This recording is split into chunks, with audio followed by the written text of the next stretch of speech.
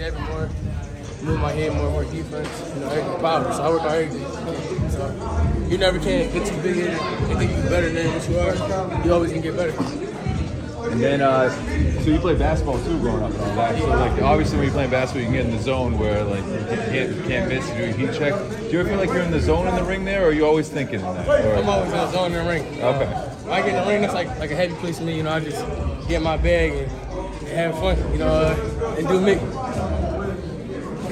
And then what do we think of the main event for your fight with uh, Gervonta and Garcia? Uh, a great fight. You know, it's gonna be fireworks. You know, uh, it's gonna be a knockout. Uh, yeah, I think it's gonna be a knockout. Who's gonna take care of business first, Tank or you? me. We're gonna see who's gonna have the best knockout. All right.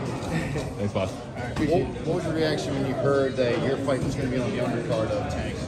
Uh, it was a, uh, it was a great reaction, you know, uh, cause fighting on a big card like that, you know, a pay per view, first pay per view, you know, why not get some exposure? You know, uh, you know, uh, take my career to the next level, my fan base to the next level, everything. You know, it's the like superstar for me. You know, uh, go to the next level. Anything you want to say to your fans here in Philly to get ready for this fight? Uh, keep supporting.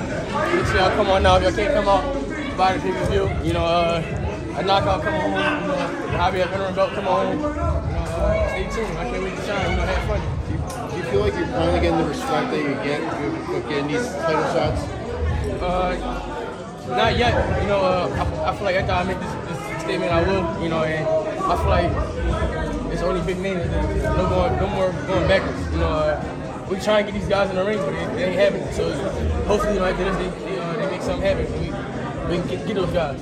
When you first look at your opponent, what sticks out the most you think will be a big challenge for you? Uh, I don't know, know too much about him. Uh, like I said, if I let my team do that, I told you all I really been watching a lot of Mike Tyson, so you might, y'all might see me come out like Mike the first couple rounds, or I might box. You know, you never know how, how I'm feeling. You know.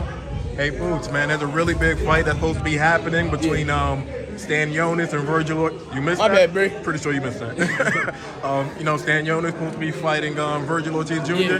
Who you think wins that one, man? Uh, that's a good fight. You know, uh, I don't know, it's a 50-50 fight for me. You know, uh, hopefully, you know, uh, I see that. Hopefully, whoever wins, you know, I get the winner. You know, if not, if not that, Errol Spence, not Errol Spence, somebody, I, anybody. You know, I don't care but, who it is. but in that fight, there's got to be somebody that you're leaning to, like I a don't little care who bit. is. No? I really don't care. I just want to fight. And- Well, I mean, just in. I mean, just in terms of who's gonna win the fight. don't matter to me. They both, they both come forward. It's perfect style for me.